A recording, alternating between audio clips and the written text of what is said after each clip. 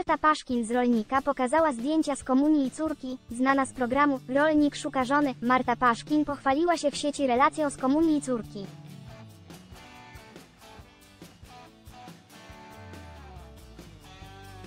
Żona Pawła Bodzianno wypowiedziała się o relacjach z byłym partnerem.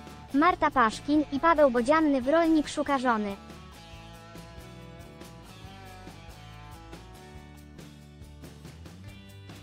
Marta Paszkin była uczestniczką programu Rolnik szuka żony. Format podbił serca widzów telewizji polskiej.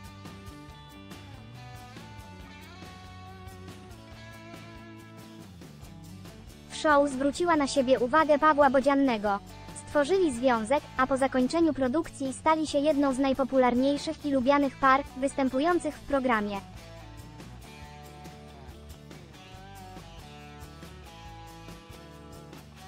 Marta i Paweł zawarli zamieszkali razem, a w późniejszym czasie zawarli związek małżeński i urodził im się synek.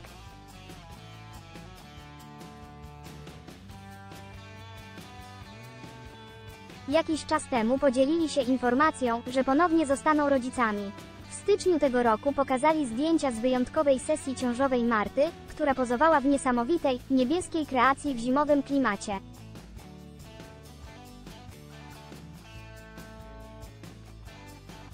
Była uczestniczka programu Rolnik szuka żony, miała wyznaczony termin porodu na 12 lutego tego roku, jednak akcja porodowa opóźniła się o kilka dni.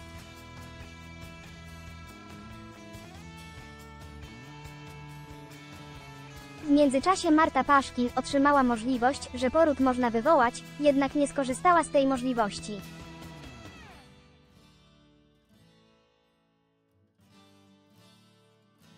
Żona Pawła Boziannego 21 lutego urodziła dziewczynkę, której dumni rodzice nadali imię Gracja.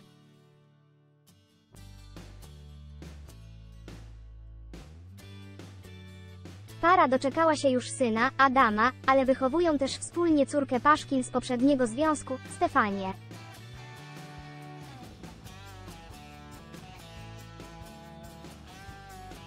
Marta Paszkin z Rolnika pokazała zdjęcia z komunii córki i byłego partnera, trwa sezon komunijny i wiele gwiazd dzieli się informacją, że ich pociechy przystąpiły do tego sakramentu.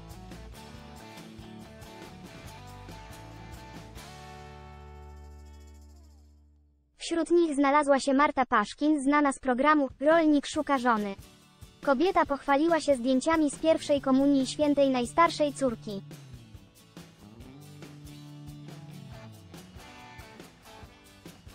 Żona Pawła Bodziannego zorganizowała przyjęcie z tej okazji razem z byłym partnerem i ojcem Stefanii, który na uchwyconym kadrze stoi tyłem do aparatu.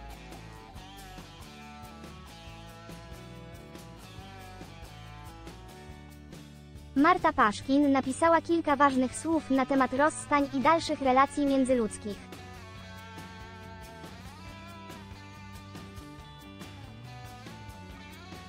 Taka postawa to rzadkość.